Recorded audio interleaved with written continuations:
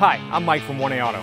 We've been selling auto parts for over 30 years. We're dedicated to delivering quality auto parts, expert customer service, fast and free shipping, all backed by our 100% satisfaction guarantee.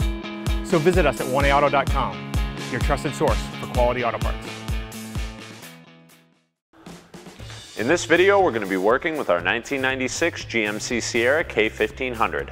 We're going to show you how to remove and replace your vehicle's CD player, which is remote mounted from the radio itself. If you like this video, please click subscribe. We have a ton more information on this truck as well as many other makes and models.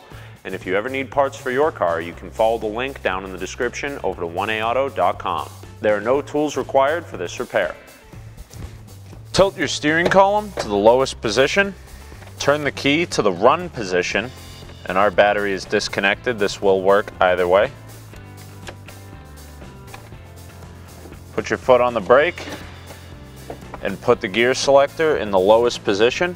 You can then simply put your fingers behind the dash panel and carefully go around. Open the cup holder a little to get that clip out. And pop all the clips out.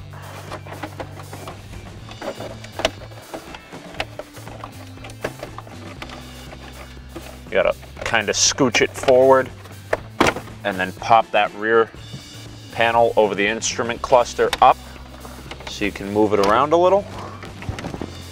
We'll then disconnect all of the electrical connectors behind our dash. Now this connector is a little tricky. You have this little T here on the top of the push button.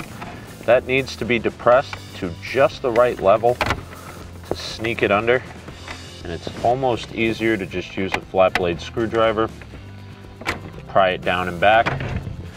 You can then push down and release the connector from the four-wheel drive selector buttons.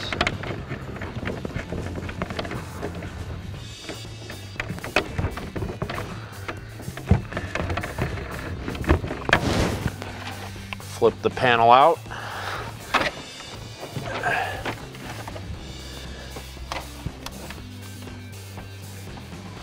And release the headlight switch connector as well.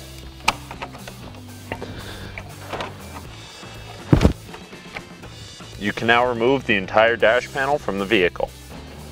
Push down on the tabs for your CD player and pull it forward out of the dash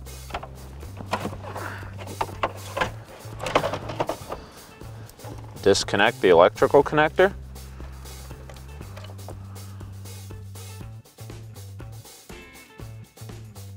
If you're installing an OE unit, reconnect it.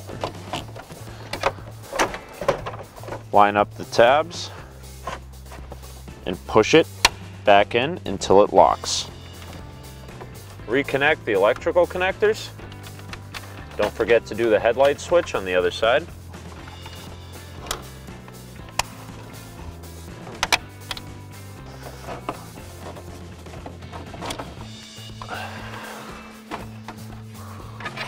Line the dash back up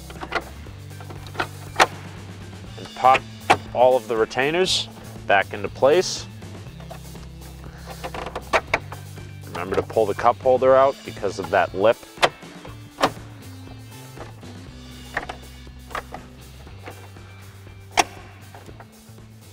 And you're good to go. Thanks for watching.